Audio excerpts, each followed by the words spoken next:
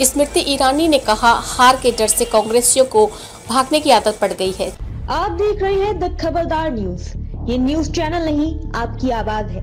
आवाज़ ऐसी जिसे ना कोई दबा सकता है ना झुका सकता है। हम करते हैं सबको खबरदार। स्मृति ईरानी ने कहा हार के डर से कांग्रेसियों को भागने की आदत पड़ गई है। चाहे तो अमेठी वालों से पूछ लो।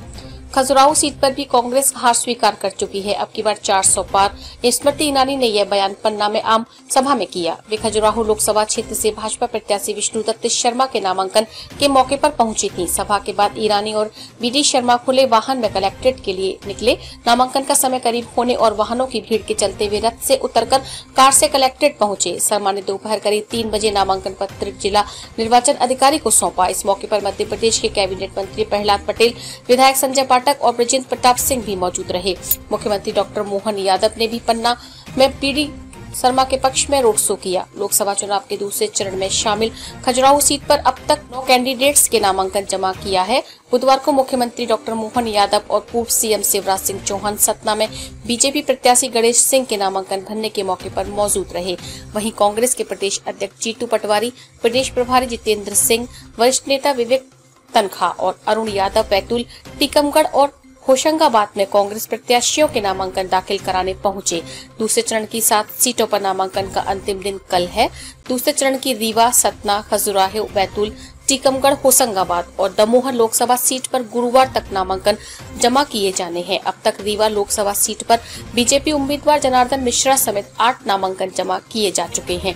इसी तरह बैतूल सीट पर कांग्रेस प्रत्याशी रामू टेकाम और बसपा प्रत्याशी अशोक भलावी समेत तीन नामांकन दाखिल किए गए हैं। सतना सीट पर बीजेपी के गणेश सिंह समेत सात होशंगाबाद सीट पर बीजेपी के दर्शन सिंह और कांग्रेस के संजय शर्मा समेत तीन।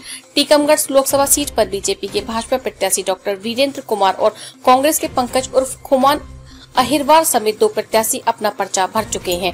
दमोह लोकसभा सीट पर बीजेपी के राहुल सिंह सहित पाँच प्रत्याशियों ने अपने नामांकन जमा किए हैं। मुख्य निर्वाचन पदाधिकारी अनुपम राजन ने बताया कि 3 मार्च को 33 अभ्यर्थियों ने 46 नामांकन जमा किए। इन्हें मिलाकर सातों सीटों पर अब तक चौवन उम्मीदवारों ने तिहत्तर नाम निर्देशन पत्र दाखिल किए हैं।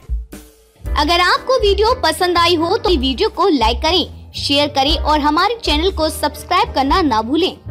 अपने सपनों का घर बना रहे हैं। एपी कंस्ट्रक्शन सॉल्यूशंस आपके लिए तैयार है। मज़बूत सिविल इंजीनियरिंग से लेकर आकर्षक वास्तुकला और विशेषज्ञ वास्तु परामर्श तक हम आपके सपने को साकार करते हैं। वास्तुकला, वास्तु और हुनर इतने बढ़िया दिए गए नंबर पर कॉल करें और अपने घर के डिज़ाइन को चमकाएँ। Please visit the mountain cafe and bakery for fast food near by Suhagi bypass